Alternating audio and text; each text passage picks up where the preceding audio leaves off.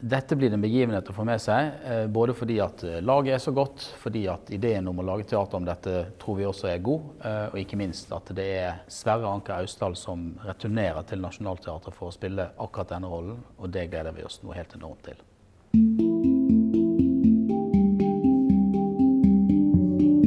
Jordverkstedet er jo en, opprinnelig en film av Ingmar Bergman.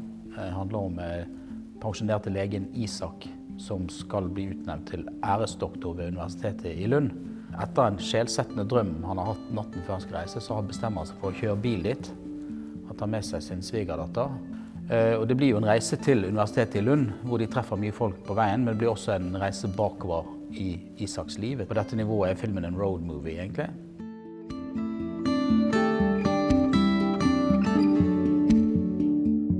Sammen med scenograf eh, Nia Damerel som også gjør kostymene, så har jo Johannes Holmen Dahl et, eh, et, ganske enkelt, men likevel utrolig treffsikkert formspråk. Eh, der skuespillerne står veldig i sentrum. Teksten kommer veldig tydelig frem.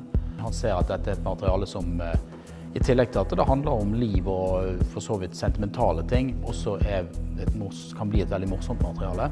Det skal være levende musikk, det skal være dans, ja, det er konfetti fra taket. Ellers på rollelisten finner vi også et uh, veldig hyggelig gjensyn med Anne Marit Jacobsen. Og vi kan også røpe at uh, Laila Goody er med i forestillingen, og en rekke andre svært gode